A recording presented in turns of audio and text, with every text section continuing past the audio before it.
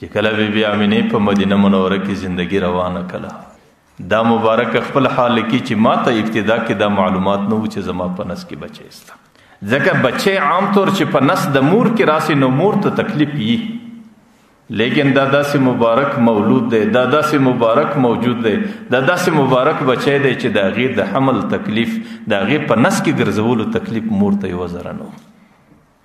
نو حضرت امینه مبارکه وای ما ته خود د معلومات نو چې زما په نس کې حمل او بچی ستا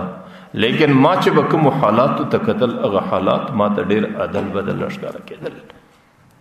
چې پر کوم مزکه بزروانو هوا براتله هغه هوا به د درخت کژولې او د درخت به زما په پښو کې داسې لویدلې لکه یو څوک چې چاته سوچ او دا حالات زما مخ کې نو دا د دې سورسته زما سره شروع او زه به دې کیفیت ته ډېره حیران وم چې زما سره څه کېږي وایي چې کله به زه د زمزم څاه له رالم نو بیا به د زمزم د څاه اوبه کښته وې لیکن چې زه به ښکاره سوم هغه اوبو به جوش وخوړی جوش وخوړی د دې څاه پر ژې باندې به راواوښتې او زما پښو ته به ځان راورسوی او ما به خپل لوښي ځینې ډکول بیا به زه ځین تلم چې کله به زه روانه سوم هغه د زمزم اوبه به برته کښته تللې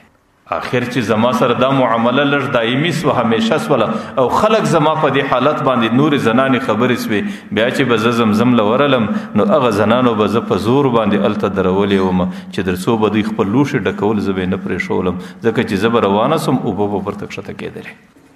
او چې کله به د ګرمۍ زمانه به زه به د اوبو د راوړلو لپاره د زمزم څاله تلم نو په اسمان کې به دستي تغیرات راتلو او یو ورځ به راتله هغې به زما پر سر باندې سایه کوله چې در څو به زه در څا پورې رسېدم او چې د څا سه به واپس در کوره پورې راتلم هغه ورځ به زما سره راتلله او دې دوران کې ماته په خوب کې یو غیبي ندا وسوله چې زنانې ته په دنیا کې د یو داسې عظیم هسته مور جوړېدونکې